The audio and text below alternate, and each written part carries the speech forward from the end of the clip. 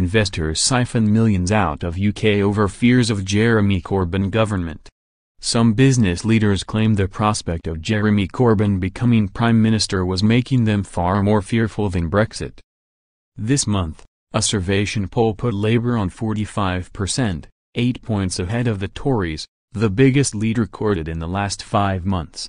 This has fueled his supporters' hopes that their leader could charge to victory should there be a snap election. But City of London figures have voiced concerns over the policies of Mr Corbyn and his tough-talking shadow Chancellor John McDonnell. Labour has vowed to nationalise Britain's railways, hike taxes and shift the government's priorities to low earners. That has rattled some figures in big business and the city who fear an economic disaster.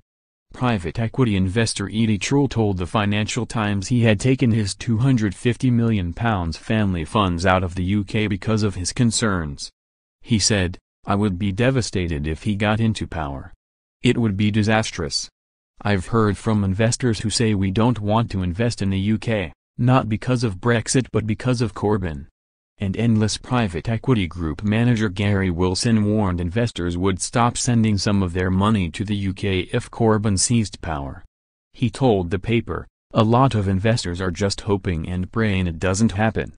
Others have warned the UK's reliance on its tax base made it vulnerable if high earners started leaving the country. But Dean Turner, an economist at UBS Wealth Management, said talk of Mr. Corbyn's danger to the country was extreme. He said, if we do see a weaker pound, the change would be gradual. I doubt we would see the kind of falls we saw post-Brexit vote.